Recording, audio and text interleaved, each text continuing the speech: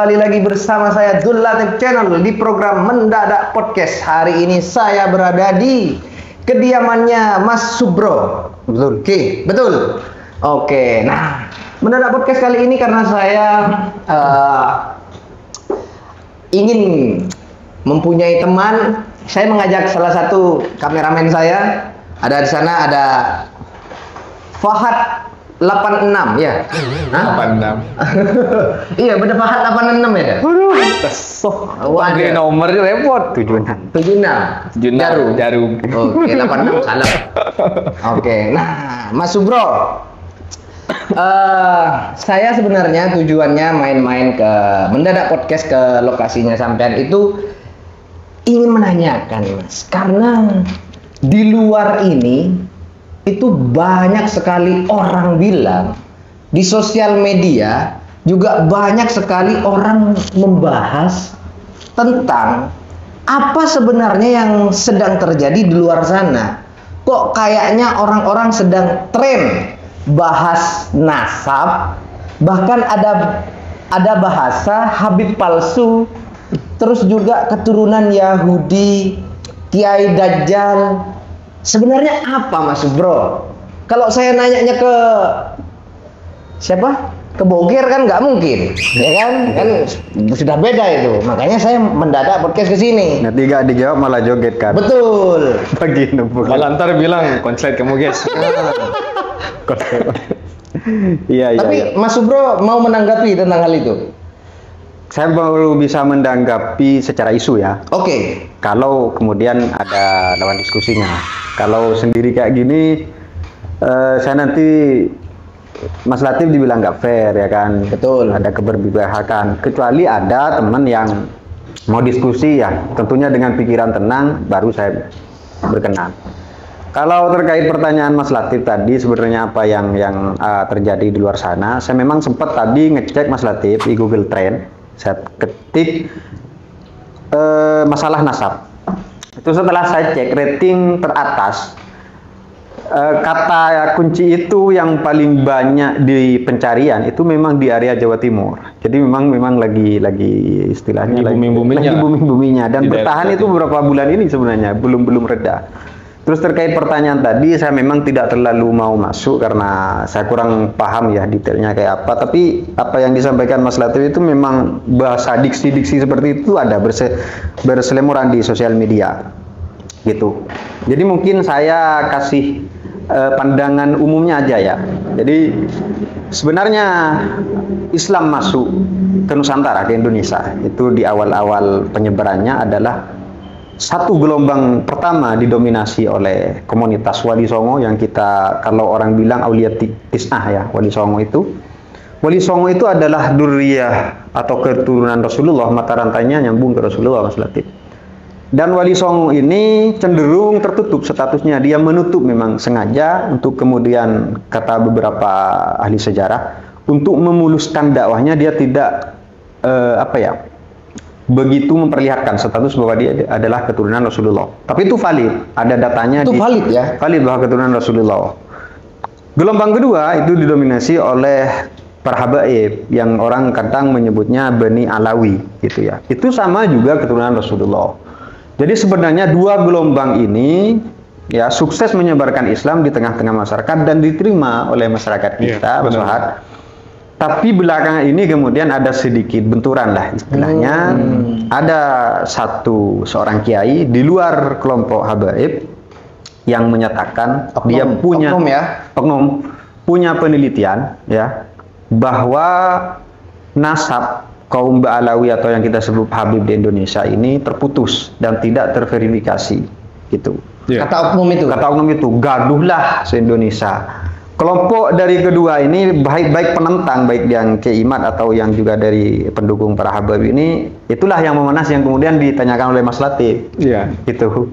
Soalnya kan juga eh, kalau misalkan di beberapa akun sosial media di luar sana ya, Hmm. sampai ada bahasa Habib palsu lah, ini itu otomatis kan ini udah bukan hal yang bisa dianggap sepele dong. Betul, Apalagi itu bersinggungan dengan yang namanya agama, Agama. gitu. Nah. Betul, betul Mas. Jadi sebenarnya ketegangan ini sudah bisa dikatakan kalau ini didiamkan, kalau ini kemudian didiamkan, khawatir ini akan memuncak dan terjadi chaos, akan cukup mengganggu terhadap kondusivitas nasional dan kestabilan sosial di negara kita. Ya kan? Kita tahu kan eh, dari 280 juta Indonesia ini didominasi Ya, 99% mayoritas Islam. Muslim. Islam. Kalau ini diganggu ada terjadi bentrokan ya maka komunitas eh, apa mayoritas itulah yang nanti akan Iya. akan memicu satu eh, gerakan yang luar biasa kalau terus ini dikembangkan seperti ini. Tapi di luar akan adanya isu tersebut, sebenarnya Mas Bro sempat berpikir kalau misalkan eh, hal ini nih ada beberapa pihak atau oknum yang memang sengaja menggembur-gemburkan masalah ini nggak?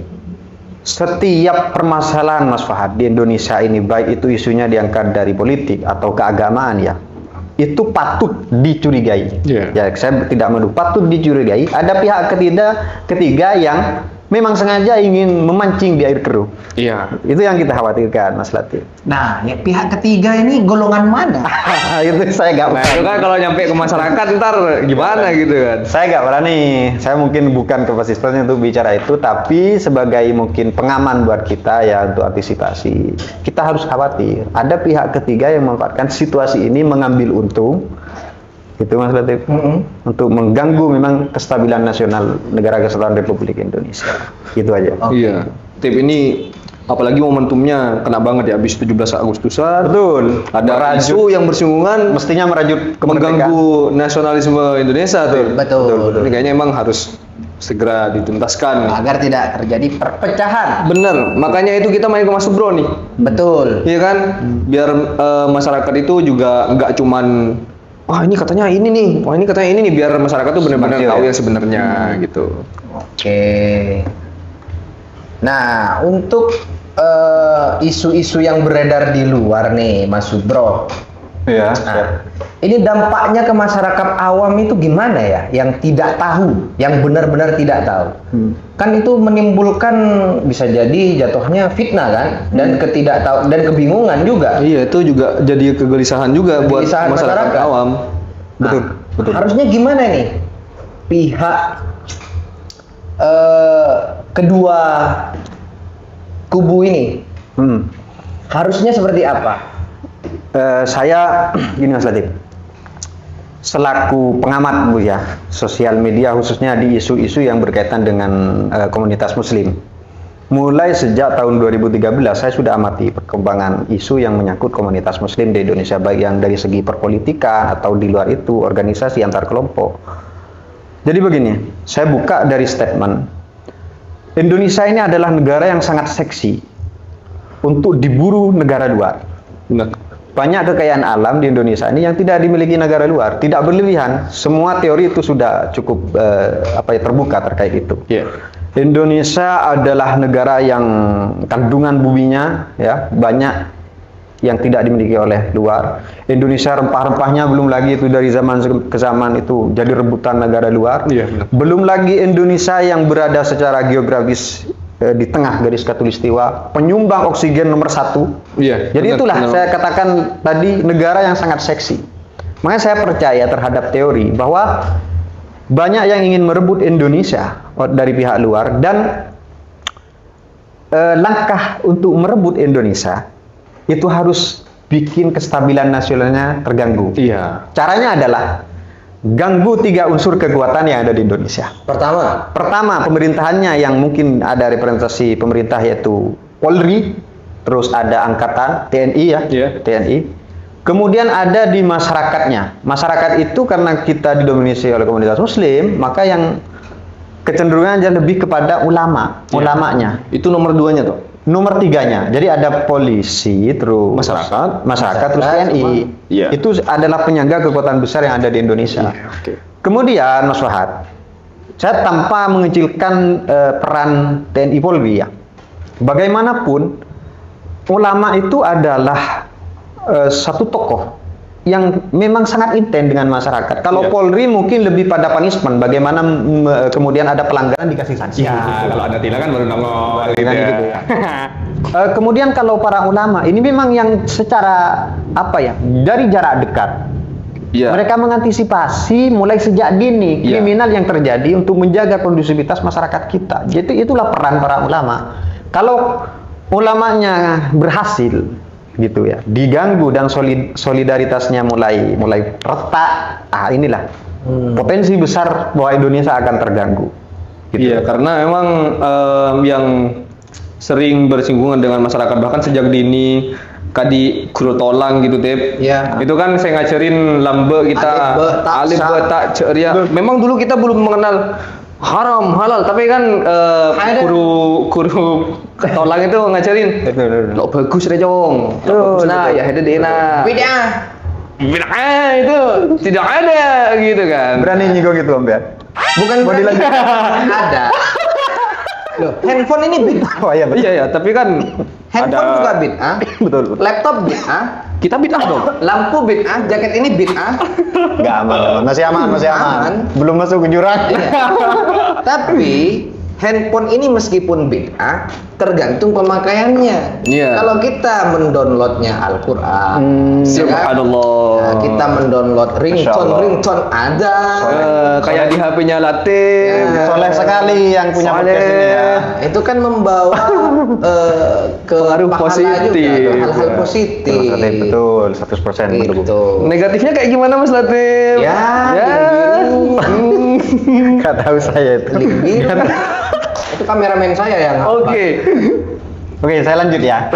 kakekku bejat Saya eh, Mas Latif bikin satu pengamatan mulai sejak 2013.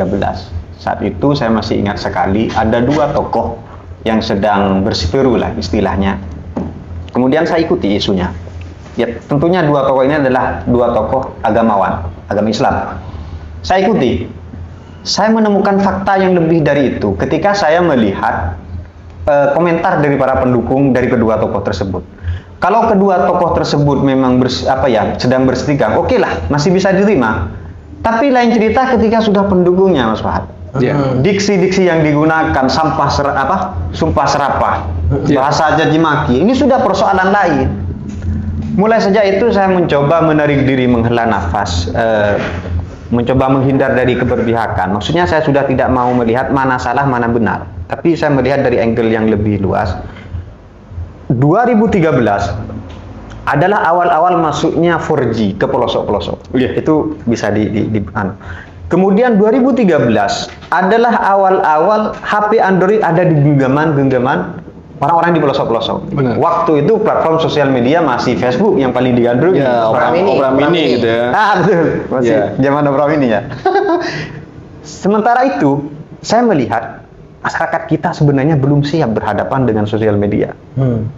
Makanya saya tulis waktu itu, jejak digitalnya masih ada di akun saya, cuman saya sudah dioperasikan. Saya tulis, kalau kemudian para tokoh-tokoh kita lebih memilih untuk bersuara di mimbar dakwahnya masing-masing, sedangkan di belakang mereka ada dua pendukung masing-masing. Kalau kemudian pendukungnya ini terjadi bentrok, maka tidak lain tidak bukan yang bentrok adalah komunitas muslim umat Sayyidina Muhammad sallallahu alaihi wasallam. Mulai dari 2013 itu saya sudah berpikir ini sepertinya masyarakat kita belum siap untuk berhadapan dengan sosial media. Literasinya sangat rendah untuk kemudian melakukan proteksi bijak menggunakan sosial media, me- apa memfilter mana informasi yang benar, mana yang tidak. Itu loh Mas Fahad. Iya. Kemudian eh saya coba masuk pada beberapa hasil analisa. Saya mohon waktu 12 menit mungkin untuk eh, presentasikan Monggo. apa yang sedang saya amati.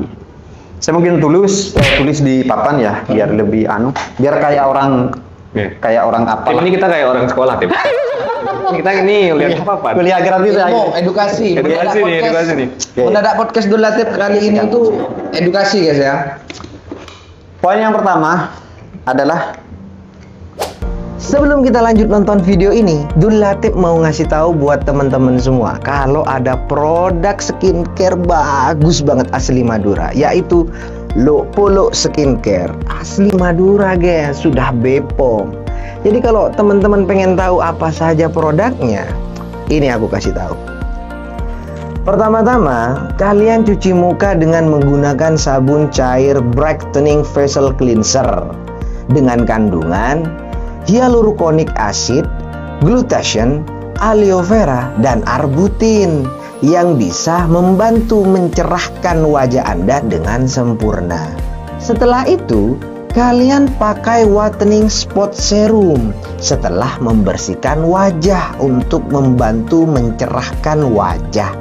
Bisa dipakai pagi dan malam. Dan kandungannya niacinamide dan chroma bright.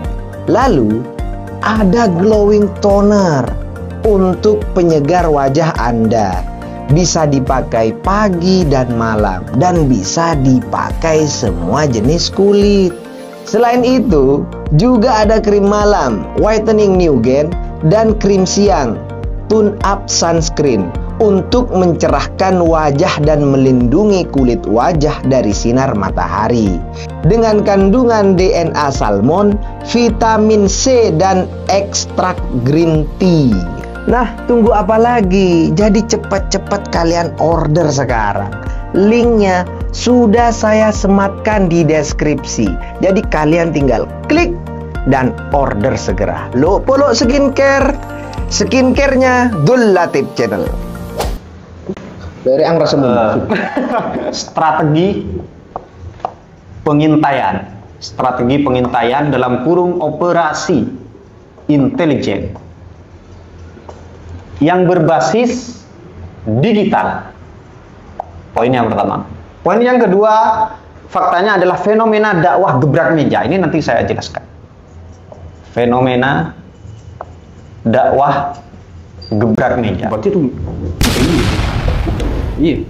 Mungkin Mas Fat kadang nemu ya toko-toko sosial media. Ya. Saya tantang Anda. Iya, iya. Allah Akbar. Oh, iya, iya, Ya, iya. tahu kan? Ya, iya. Nanti arahnya ke sana sih. Demi itu yang terakhir. Memainkan psikologi mayoritas. Memainkan Psikologi psikologi mayoritas. mayoritas. Kalau mayoritas berarti siapa di kita? Ya umat Islam. Umat Islam. Eh, umat Islam itu harus sadar satu hal dan ini jarang digubris. Eh, orang bisnis lebih-lebih pada posisi dunia modern seperti sekarang, Mas Fahad. Itu sebelum dia melakukan membuka usaha bisnis modern khususnya, dia harus melakukan satu riset dulu Iya. riset itu yang paling menentukan Mas Fuad sebenarnya untuk kemudian bisnisnya betul-betul jalan. Begitupun juga orang politik Iya. Se- menjelang pemilu kita tahu kan para politikus itu bikin semacam riset, survei lah istilahnya menentukan keputusan politiknya ke mana. Iya. Apa Kemudian- yang dibutuhkan masyarakat dan yang harusnya diberikan. Diberikan gitu. Itu bisa harus kemudian valid betul datanya Iya. untuk kemudian menentukan sikap. Dan ini harus eh, kita pahami ya. Saya singgung kemudian terkait bagaimana runtuhnya Turki Utsmani. Turki Utsmani itu adalah satu dinasti kekuatan umat Islam pada masa itu yang bertahan beberapa abad. Eropa cemburu sebagai musuh besarnya umat Islam waktu itu. Gimana caranya? Kekuatan yang sudah bertahan beberapa abad ini harus kita runtuhkan.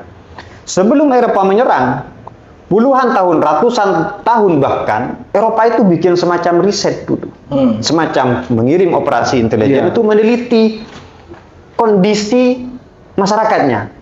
Setelah dia melakukan riset, dia sudah kemudian mulai tahu titik rentan pertahanan dari satu negara ini di mana. Gitu Mas. Iya, iya. Oke, oke. Setelah riset ini dilakukan, sukseslah Eropa itu meruntuhkan Turki Utsmani dan serangannya sangat cantik tidak lalu kemudian main nuklir kirim bom enggak perlahan karena dia sudah tahu fisiologi masyarakatnya kecenderungannya ke mana dia tahu Sudah tahu kelemahannya. sudah tahu kelemahannya. Kita kembali ke konteks Indonesia. Sebelum ke Indonesia dulu, dalam konteks modern, ada fenomena TikTok. Benar. Siap. Saya percaya terhadap satu teori. Mas Latif pertama tahu TikTok itu kan hanya sebagai platform Hiburan. hiburan, Hiburan. orang joget-joget, Iya, senam-senam. senam-senam. Sedangkan Bagi sangka ada teori yang mengatakan TikTok itu buatan Tiongkok kalau nggak, China ya. Itu dikirim kemudian sebagai platform hiburan tapi di balik itu sebenarnya untuk menganalisa. Hmm. Jadi ketika masyarakat kita Mas Latif expose ya ge- eh, apa istilahnya beberapa ekspresi, joget-joget segala macam. FYP-nya. FYP-nya. Jadi kan itu ada algoritmanya istilahnya, Iya. ya, rumus algoritma itu. Negara Tiongkok sudah semacam bikin satu rumusan. Ini masyarakatnya kecenderungannya ke sini. Dan itu mayoritas. Mayoritas. Mayoritas. Style hidupnya ke sini. Kemudian ketika stylenya, gaya hidupnya sudah ketemu, nanti daya belanjanya arahnya ke sini. Iya. Terbukti beberapa tahun kemudian, TikTok melakukan transformasi dari yang awalnya hanya sekedar platform hiburan, berubah jadi e-commerce. Yes. Semacam Sorry saya potong. market online. Jadi seakan-akan itu CCTV. Ya, lebih tepatnya seperti itu. Iya, iya. CCTV. Intinya seperti itu. Jadi tahu nih isi dalam rumah ini seperti apa. Betul. Jadi kita tahu mau ngirim makanannya Ah, apa. Apa? Apa Ya. yang disukai oleh eh, rumah orang itu? Satu aplikasi sederhana, platform hiburan yang kita kenal, tapi itu bisa menganalisa kecenderungan suatu bangsa. Benar, benar. Kemudian transformasi terbukti kan ketika TikTok berubah jadi e-commerce, hampir mentiarapkan semua market online. Betul. Tapi beberapa bulan di take down kan, mungkin ada kepentingan dan itu dibuka lagi saya kurang paham di situ. Tapi saya percaya terhadap teori itu. Hebatnya orang luar seperti itu. Dan saya khawatir, seperti saya bilang tadi, strategi pengintaian atau operasi intelijen yang berbasiskan digital. Ketika masyarakat kita begitu ekspor di sosial media dengan gaduhnya sekarang ini, Iya, iya, iya. pihak luar sudah mulai tahu titik rentan masyarakat Indonesia ada di sini. Celahnya ada di sini. Sekali lagi, perang nuklir pada zaman sekarang sudah tidak realistis sebenarnya. Iya. Ya kan? Kita mainnya halus lewat Halus. survei digital itu tadi. Survei digital seperti itu anu Mas Fahad. Maka perang apa pun, perang fisik, perang nuklir, perang ekonomi, perang eh, politik itu ditentukan bagaimana risetnya dulu. Terbukti dulu Turki Utsmani. Nah, ini yang perlu kita sadari sebenarnya. Dan itu bahkan mayoritas masyarakat juga hanya menyadari bahwasannya itu hanyalah bagaimana mereka menyalurkan apa yang mereka Apa yang- hmm. inginkan dan mereka gemari Betul. gitu kan di, di Betul, sosial media kayak di TikTok. Itu kan fenomena Mas Mahat sebenarnya. Fenomena yang perlu kita antisipasi. Dan survei mengatakan pengguna Facebook dan pengguna TikTok terbesar itu ada di Asia Tenggara, tepatnya di Indonesia. Masyarakat kita itu latah sebenarnya. Iya, bahkan eh, ingat waktu itu tuh kayak misalkan masa-masa Piala Asia tip Hmm? Ya. itu kan banyak tuh kadang kayak ada wasit yang kurang fair. Kita nggak nyerang langsung psikisnya langsung apa kita tonjok apa enggak Enggak. Iya iya iya. kita komen tuh akunnya wah kamu ini begini begini Itu Saya tanya yang sekarang. dinamakan netizen maha Nah, iya. Lewatnya nyerang dari situ. Saya kasih pertanyaan, netizen yang dinobatkan, netizen paling julid di dunia netizen negara mana? Indonesia. dengan bangga saya mengatakan itu Indonesia netizen, netizen di Indonesia juga sekaligus detektif handal. Di mana itu? loh itu kalau misalkan ada isu eh, sekecil apa pun netizen Ber- berani masuk ke sana? Wah, berani? iyalah. Ya monggo. saya nggak berani. Saya cabut aja ini. netizen kan bukan netizen kan bukan eh, perorangan kan. itu kan maksudnya Pak Kapolda secara yang saya hormati, saya gak ikutan di bagian ini. Oh enggak, agak nyerang ke sana. Loh, karena Ya, terus, eh, sekali lagi itu saya katakan tadi berdasarkan pengamatan beberapa fakta ya. platform yang Ya. memang Saya sendiri- memang itu realistis Ya. aja gitu. Oke, Iya, oke. iya. bisa ter- Ini netizen ini kurungannya ini netizen. Siap, siap. Fakta yang kedua adalah fenomena dakwah gebrak meja. Mm-mm. Kalau Mas Latif, kan ada beberapa tokoh kan. Saya tantang Anda, Iya. saya tantangmu, ya kan? Iya. Dan dua-dua kelompok dua tokoh itu yang saling serang itu, eh, dia membawa sama-sama atribut agama. Betul. Yang dipakai yang paling daku tentunya agama agama Islam. Betul. Sedangkan kalau kita kaji lebih dalam, tokoh tersebut sebenarnya secara keilmuan belum bisa dipertanggungjawabkan sebenarnya. Hanya saja faktanya psikologi masyarakat Indonesia mungkin pada umumnya manusia kalau ada ribut-ribut kan pengen ngintip kan kita Iya. waktu SD sapa atokar kedua entar kan Iya, iya, iya. tabrakan-tabrakan gimana Dima Hmm. jadi melihat bedekiae Mas Fahad, si acara sama Mas Latif, bareng bedekiae sekir kikir itu lebih tertarik yang mana? Yang Kikir. Sekir kikir kan? iya. Itu kecenderungan masyarakat sebenarnya. Kemudian ada tawaran yang berbasis algoritma. Algoritma itu begini, ini yang perlu diantisipasi. Sampean nonton misalkan bukan dalam rangka pengen tahu isi yang dibicarakan, cuman ketika dia geger-geger cari sensasi, lihat kan? Mm-mm. Algoritma itu ketika ditonton beberapa detik, Mm-mm. misalkan katakan 15 detik, dia akan kemudian secara otomatis Memunculkan hal yang memunculkan hal yang serupa, ya kan? Betul. Ditawarkan lagi. Terus semakin kamu masih melihatnya akan terus ditawarkan. Betul. Loh, masalahnya di sini. Sampean melihat kan awalnya cuma sekedar mau lihat kontroversinya. Mm-mm. Lama-lama karena sering disodorkan, mulailah di beberapa selipan itu sampean mulai membenarkan. Hmm. Setelah mulai membenarkan sampean terus eh, apa ingin mengikuti, mulailah masuk mindset. Sampean mulai membenarkan.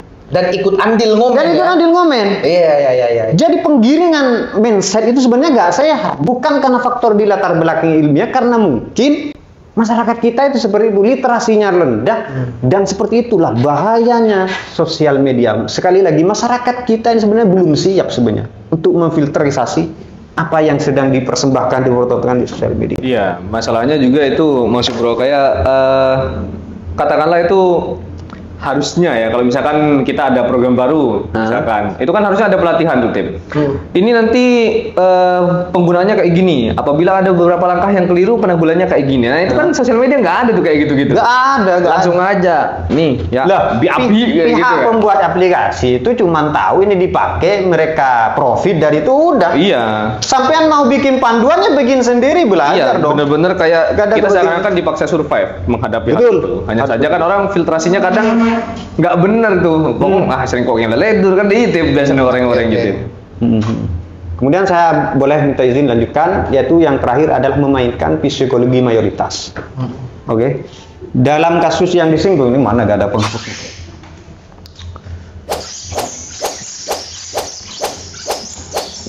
Begini mas, saya masuk dulu di statement saya. Ilmu agama itu tidak asal ilmu. Jadi kalau ada orang menyampaikan ilmu agama Islam, khususnya satu temuan yang baru terkesan tidak pernah kita dengarkan, Hmm. itu harus dilihat dulu sanad. Sanad ini adalah untuk memverifikasi dia itu dapat itu dari mana. Iya. Apakah memang betul ada dalil yang melatar belakangi dari Rasulullah, dari hadis, dari Al-Quran, ya kan? Kemudian dia itu secara keilmuan nyambungnya gurunya ke siapa, lalu ke siapa itu diper apa ya dalam ajaran agama Islam itu begitu dipertahankan. Benar. Dilihat juga secara figur dia itu orangnya kapasitasnya seperti apa. Bahkan di dalam Islam itu kena keminatik sekalipun itu dipertanyakan. Betul. Iya benar benar. Kena keminatik itu. Betul. Masuk labeng jeding soko kanan kain. Karena ya. Betul. Ah. Itu sudah agak cacat gitu secara untuk Iya. memverifikasi orangnya. Jadi seperti itulah. Kemudian saya coba tulis eh warga Indonesia ini masyarakat Indonesia ini berapa? 2 juta 80 itu terakhir. 80 jiwa. Kemudian saya taruhlah satu lingkaran di sini 99% ya. Ini adalah umat Islam. Kemudian dari 99% ini saya coba perkecil lagi orang yang kemudian betul faham agama, bukan paham agama, yang mau serius untuk beragama mungkin saya taruhlah di angka ini 100 persennya Hmm. di 80 persen. Kemudian saya perkecil lagi di 80 persen itu orang yang mau sudah mulai sholat, intinya Ya, ya, ada ya. keseriusan untuk beragama gitu. Iya. Beragama Secara- bukan cuma KTP-nya aja. Betul. Sudah melakukan ritual lah. Betul Mas Latif. Kemudian orang komunitas Islam yang betul mau belajar ilmu agama, saya perkecil lagi mungkin di angka 50%. Oke. 50% yang mau belajar. Kemudian belajar itu kan banyak nih Mas Hmm, Fahad, bisa iya. di perkuliahan, bisa di pesantren. Saya meyakini sumber primer yang paling original itu ada di pesantren. Benar.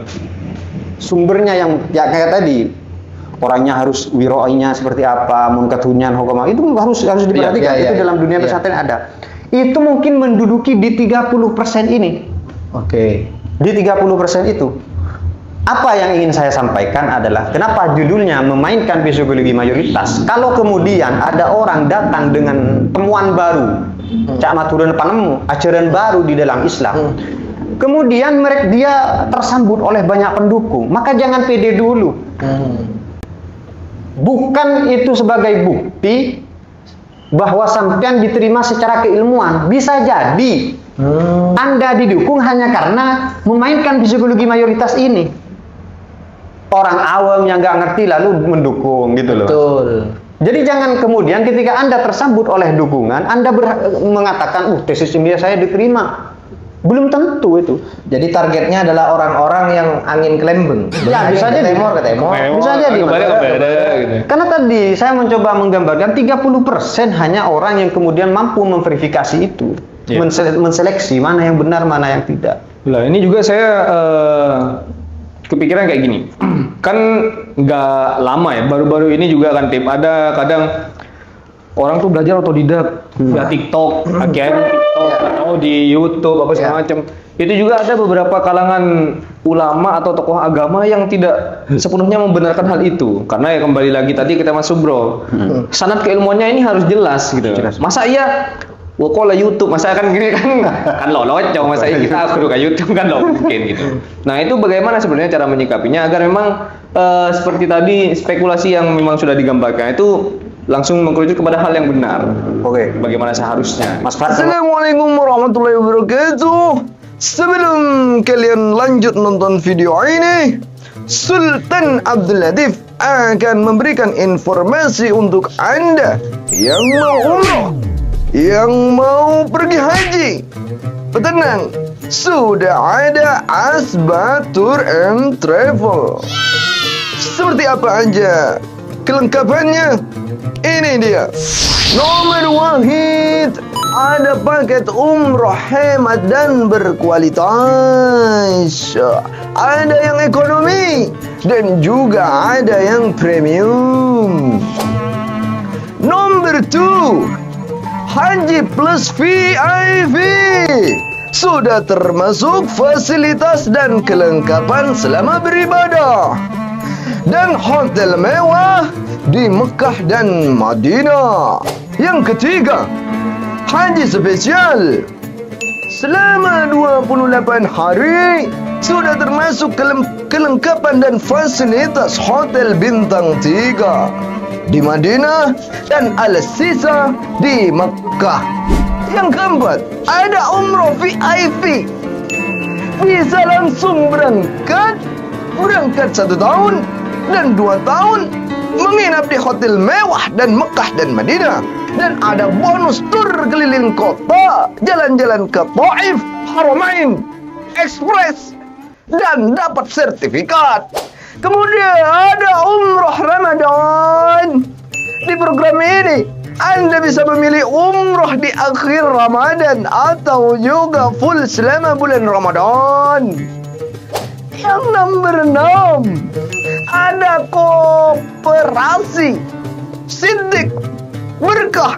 Al-Makki Anda bisa menabung untuk simpanan umroh Anda. Dan yang terakhir. Akhirun, akhirun. Tapi jangan khawatir. Di Asma Tour and Travel Ini juga menyediakan program eksplor ke negara lain jadi selain ke Mekah dan Madinah, Anda juga bisa ke Turki. Ke Turki. Naik lomba nonen. Bersama kami tentunya dulu nonton. Jadi tunggu apa lagi? Kalian bukan berdaftar. Segera daftar. Dan link yang sudah ada di deskripsi. Sekian Allah Syami'na. Assalamualaikum. Mas Fat kalau nanyanya seperti itu, saya coba arahkan dulu khusus ke Tentretan TV Reng Madura. Sebenarnya, guys, Reng Madura mulai di Koncok Bangkelan sampai ke Timur. Atau kiain sebedai kampung, insya Allah selamat. Kalau ada ajaran-ajaran di luar yang diterima dari aksesnya sosial media, tengah, yang diterima, benih langsung tolak, yang diterima, tanyakin ke lu nggak ahli. Nah masyarakat kita itu kadang cepon sampean, guru ngaji nah sehingga cerita ngati mulai lambe sana itu jelas sih mas Iya. sebenarnya. Pak bisa Romuro dia cenderung lebih didominasi pekirah karena berbeda YouTube, Iya. ya kan?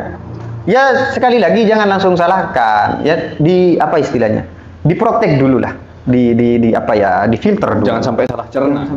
Soalnya kan eh kalian ini mah mohon maaf atas eh, pihak mana pun yang mungkin akan tersinggung. Hanya saja kan eh, karena tadi itu juga kekeliruan orang mencerna akan ilmu yang semacam itu. Kadang kan meskipun kadang orang eh, de guru tolongan TV di luar sana di kampung itu kadang ya biasa pokoknya sering ketemuan kan. Nah, suatu waktu nih misal ada tuh orang ya entah itu memang valid nasabnya atau enggak Ah, ah. datang ban surban ataupun pokok abek brewo kadang orang nyokok se- gini. Nah, itu kan kadang ya mungkin saja itu mayoritas emang orang yang benar. Hanya Bisa, saja. Apa kabar? Kalau misalkan itu orangnya salah. Ah, kan bisa aja kayak gitu. Ah. nah itu untuk menanggulangi hal kayak gitu tuh gimana? Oh sampai lebih mengarahkan ini eh, kadang orang nomor dua guru tolong sebagai kampung. Gitu Iya, karena ya Lebih kembali situ. ke tadi benang merahnya kita dengan adanya banyak spekulasi bahwasannya isu-isu kayak Hmm. Habib palsu apa segala macam itu kan tidak yang beredar di media sosial iya, sekarang. bener Tip. itu kan juga ya bisa aja tip maksudnya Ya, se- bisa sebek-tebek Tep, orang dia tip entah Roma Hedi misalkan atau entah Tang Roma misalkan ngaku kok anu begini begini Nah. pola penampilannya lebih oke dari sekuru tolang gelap pas masyarakat itu psikisnya langsung Ada yang ngaku nabi bar. Ada yang lagi viral ngaku nabi. Iya. Indonesia aja mas ya negara paling subur. Sekolah paling subur. Ada muka ajaran apa? Paju insya Allah. Mas Fahad ya misalkan muka. Sekarang lagi tren 88 misalkan ada potongan sholat dipotong kiri ya dengan harus pas beri di budin coba nampilan kalau Allah taala. Insya Allah paju mas paju Indonesia. bahasa semut eh, bisa ya? Nyinggung apa? Nyinggung apa? Oh ya, Apa ya, tanggapi, tanggapi tadi pertanyaan Mas Fahad. Kalau kemudian bicara Tapi tentang- bentar, yang jadi nabi itu gimana? Masalahnya? tapi yang dalam ada Ah, yang Pak Nggak ada, ada, ada yang ngaku nabi itu barusan viral di mana itu? Orang orang yang dari sana mana nabi kan beda kan beda Nah, iya. nabi Oh pamanku leman nabi. serius? Wah, jangan jangan Nabi. coba Tip. Man nabi. Oh, jangan ada nabi, Nabi, tapi. Tapi ya, lo nekok nah. budak Saya- kok nabi. aku aku yang mikir sana Oh benten. Oh bukan. Benten. Oh, juga mana Kayaknya- ya? Baca apa? Kan, yang- Kayaknya nabi deh ya. Oh. nggak kira itu Nabi. Cara Ya. yang Madura. Kan Nabi. Ustad eh, Anwar ke ke Iya bener. Nabi Hanafi. Jadi nabi. Nabi. pertanyaan Mas Fahad itu mungkin perlu direspon satu Mas Fahad kalau saya tetap seperti statement saya saya percaya bahwa Wadi Songo terus para habaib itu keturunan Rasulullah Betul. saya mempertahankan nilai yang diajarkan oleh para orang tua dan para guru-guru saya sampai kecuali memang ada data-data valid orangnya seperti apa yang membantah baru saya terima Kemudian karena pertanyaan kayak sampean bodoh orang romorongak kok, ya namanya oknum Mas Latif. Betul. Semua kelompok itu Mas kalau dikaitkan ke oknum memang ada apa? Ada kekurangan gitu. Jadi kalau membahas satu lembaga untuk mencari kesalahan satu lembaga hanya karena satu sampel oknum itu kan gak fair Mas Fahad. Hmm. Ya bisa jadi sebenarnya bodoh orang romorongak kok korek kiai korek. Bisa jadi, bisa jadi. Fakta itu. Soalnya kan kadang engkau tau man tip, jadi dia tip, dia mas bro. Eh, sewaktu-waktu itu engkau Andi kenalannya memang katakanlah dia Eh, semua semua tengah tidak cerita deh. Ada. Oh iya, iya, ini benar ini benar. Mohon disensor nanti. Terus. Eh, jadi dia itu eh ini sebenarnya agak lucu juga. Jadi eh engkau aja toman itu mobi orang yang dia itu bektojiah abareng bi tanglora, eh bektong kok mondu. Nah. Saya kan memang orang beres Nangkep. Kan cana je kelak juga. Tapi bisa kok tanya keluar lagi ya tip. Hmm. Oh mungkin kok ada dalam orang di dalam kode guru kan kayak gitu maksudnya masuk bro. Oh mungkin mungkin mungkin segala macam. Ya nyongkem dong, yang memori dia guru. Ini sering kelak kan cara jawab tulis saya kita yang loraki ini sengko. Dan nyongkem yang kode itu kan maksudnya salah satu contoh bahwasannya eh yang tadi saya tanyakan itu juga sebenarnya ada sangkut pautnya dengan cerita yang serupa yang saya sampaikan. Itu kan Benang merahnya tadi ya. Iya, jadi kan kadang orang pokok abe kelihatan tak, poin mon orang selok tahu masuk bro. Nah, Maku bener siapa nama aku lakukan lah kan cak aja nyong kemong. iya iya. Tak lupa tuh pah nyalam repot. Abe aku yang tahu tang. kan kayak gitu ya maksudnya eh, kita plesetkan ke situ gitu loh maksudnya. perilaku oknum mungkin ya ya saya tidak tidak memungkiri itu mungkin bisa terjadi tapi yang kita sedang isu ini kan bukan sebenarnya nggak patut lah kalau yang diangkat oknum Iya. karena terkait eh, nasab dua satu lembaga yang secara turun temurun dari tahun ke tahun ratusan tahun itu sudah di diisbat sudah ditetapkan gitu romoro eh, kemudian dibatalkan nah itu yang jadi gaduh sebenarnya Oh, berarti sampai Mas, dibatalkan. sampai Mas Sugro, dibatalkan perta- per- pernyataan sampean ini mungkin akan menimbulkan banyak pro kontra di media sosial. Betul. Ya kan? Jelas. Jelas ini pasti. Ya, itu wajar. Nah, seandainya ada orang yang ingin eh, datang dan ingin berdebat terbuka, apakah sampean siap untuk menanggapi? Insya Allah, asalkan dengan pemikiran yang tenang. Soalnya pasti tidak ada eh, banyak yang tidak setuju ini. Iya kan nggak semua orang juga suka dengan Tapi ya itu catatan saya kalau mau diskusi ya ya kita memang harus betul ada argumen ya yang bisa dipertanggungjawabkan. Yang nomor dua jangan angkat perilaku oknum. Kadang yang dibuat senjata itu oknum gitu, kan nggak fair. Yang diangkat itu terkait masalah apa nasab misalkan. Tapi yang diangkat perilaku oknum itu menurut saya nggak fair. Menurut saya. Iya, kita sajikan eh, obrolan ini dengan ilmu. Yang mau jawab juga harus dengan ilmu Ya, juga betul. dong, kayak gitu kan. Biar ya saya menerima. fair. Mm, saya menghargai pendapat eh, mungkin beberapa orang yang beda dengan saya. Saya hargai. Dan hal ini juga sudah menjadi konsumsi publik. Kalau tidak eh, jadi konsumsi publik, nggak ada itu namanya isu-isu di luar kan? Hmm. Betul kan? Tidak akan berkembang itu isu-isunya. Betul. Jadi kita sengaja membahas ini agar ya sharing juga sebenarnya, sharing edukasi dan membuka eh, pikiran-pikiran yang berapa persen itu tadi? Ya mungkin 80 ini persen? 80 persen. 80%. Didominasi orang yang mungkin ya secara agama ya, Hmm. mungkin pemahamannya belum sampai untuk bisa memfilter gitu. Oke. Karena saya ter- sendiri juga mungkin termasuk yang di 80% itu. Nah, kurang paham. Seperti. Intinya saya ya nanti di kolom komentar tunggulah beberapa hujatan untuk saya itu. Langsung ya. Bro. Benengkok pola cerita kan ya bening. Masih ya, bro. ya mari diskusi terbuka. Jangan jangan pakai cara-cara apa caci maki seperti yang ada di sosial media itu kurang baik, kurang membangun. Seperti yang Mas Fahad sampaikan, ini momentum persatuan. Jadi kita mari kita raju persatuan. Dari perpecahan obrolan yang ada di sosial media itu saya khawatir itu akan menjadi modal buat orang yang punya kepentingan itu pihak ketiga. Apa pun mungkin semua punya pendapat masing-masing. Tapi tetap menurut saya itu jaga persatuan demi persatuan bangsa dan anak cucu kita ke depan. Benar. Oke. Repotnya juga tip, jangankan masalah kayak gini mas bro, latip aja yang yang saya emang yang tiap hari sama latip ya, Hmm. apalagi mengenai beberapa konten yang memang dibawakan latip sendiri. Hal sepele yang itu dalam tanda kutip konten media sosial aja banyak yang nggak suka karena ala cok bahasa Ya, hede, bahasa lo paton gitu, apalagi hal kayak gini, otomatis nanti pasti banyak tua yang negatif. Jauh jauh. Mun kita bertiga rek. Keng kacek tuh, sana lo kecil. Iya, benar. Raj itu Ya, cuman Nabi penghalangnya beda-beda. Muhammad, manusia orang yang paling suci. Ada yang nggak suka, bener bener. Ada haters. Betul betul. Eh. Ini kita mending paling cuma di komen itu ya. Ah, ah. Kayak ditambah bicara tong bakal cong. Iya. Terakhir Mas Latif mungkin closing dari saya ya selebihnya mungkin bisa dilanjutkan. Eh, kekhawatiran saya ini sebenarnya di luar dari isu ini sebenarnya kemudian terjadi disorientasi penurunan kepercayaan masyarakat terhadap tokoh agamawan yang saya sebutkan itu sebagai kekuatan Benar. di bangsa ini. Ketika masyarakat itu terjadi disorientasi kepada Masai, itu ada sabda Nabi yang sudah memprediksi peristiwa itu. Kata Rasulullah, saya zamanun ala ummati yafirruna anil ulama. Akan datang. tuh. Lo lo. Mas Oh, Saya, saya bantu dulu. Setidak mampunya saya nanti Mas Latif. Siap. Akan datang satu masa di mana para umatku itu lari dari ulama. Lari ini dalam artian sudah tidak simpati kepada ulama, tidak dihiraukan, bahkan cenderung dihina.